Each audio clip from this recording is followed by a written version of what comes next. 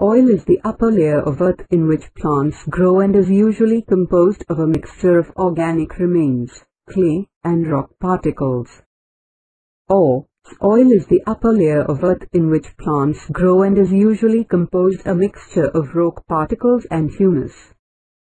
Soil is a natural resource that is essential for life. Soil is used as a source for food, clothing, shelter, minerals, coal, bricks, mortar, pottery and porcelain. Soil provides water and minerals to plants for their growth. Thus all living organisms depend on soil. Do you know how soil is formed? No, ma'am. Soil formation. Weathering.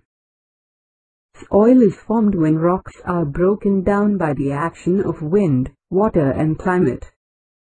This process is called weathering.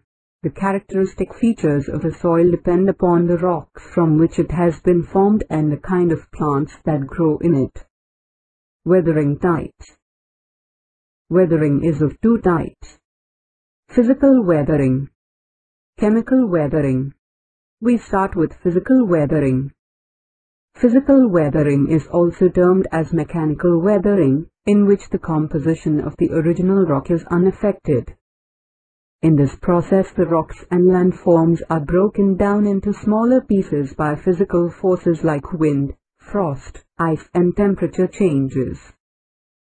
Chemical weathering In this process the mineral composition of the rock get changed due to the action of chemical agents like water, oxygen, carbon dioxide, etc. This is caused when chemical agents like water reacts with minerals in rocks to form new minerals and soluble salts.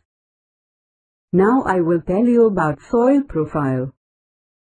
Soil profile if you examine the sides of a ditch that has recently been dug up or the sides of a road on a hill,